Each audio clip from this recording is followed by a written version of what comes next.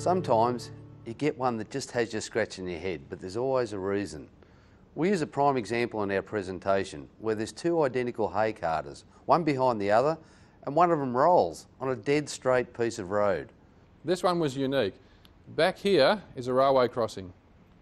The first truck went over the railway crossing and started a bit of a bump.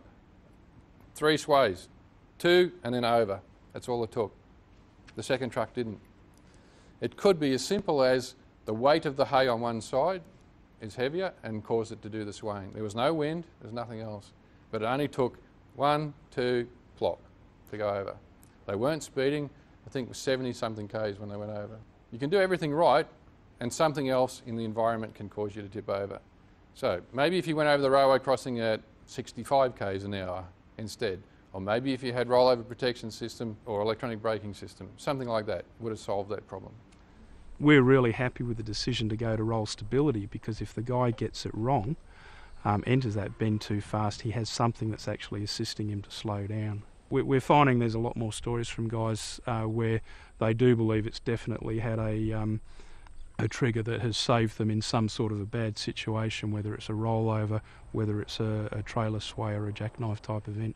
I've been in a rollover and I'm assured that we did nothing wrong on the day the road, it was an accident, the road gave way and suddenly you're on your side and there's nothing you can do about it.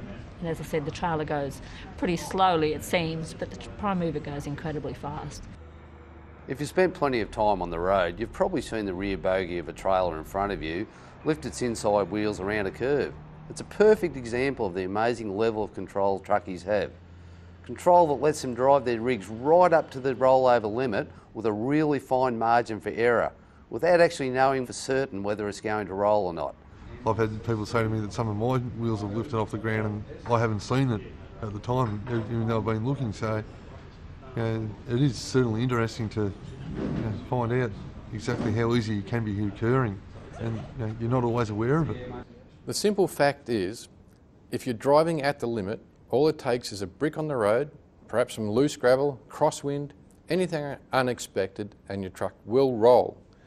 That's where an extra one kilometre an hour or an extra one degree of lean can come into play. The thing to remember is that you only need some other factor to have an influence. And it might be something completely out of the driver's control, and you will have a rollover.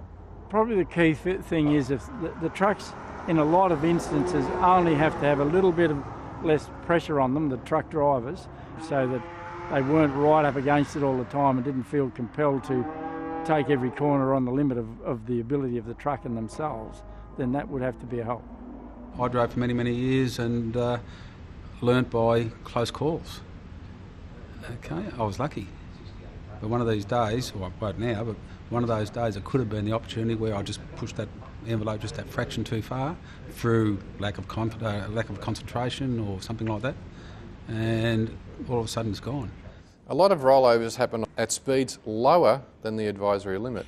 They happen because the centre of gravity and centrifugal force combine, and sometimes with other elements like road camber, load shifts, even sudden gusts of winds. They upset the balance of the trailer, especially if it's already been driven close to the limits. You could be sitting in the office and get a typo on your computer and uh, a minor distraction means you've, you've got a spelling mistake on an email, but for a tanker driver, uh, or for a heavy vehicle driver, um, that minor distraction um, can, you know, when you're only dealing with a foot of road um, tolerance on either side of your wheels, minor distraction can be the thing that takes you over the edge. We know that it takes more than one thing to get to an accident. It Usually takes two, three, or four. And you start to put one or two things together, and you'll get a result.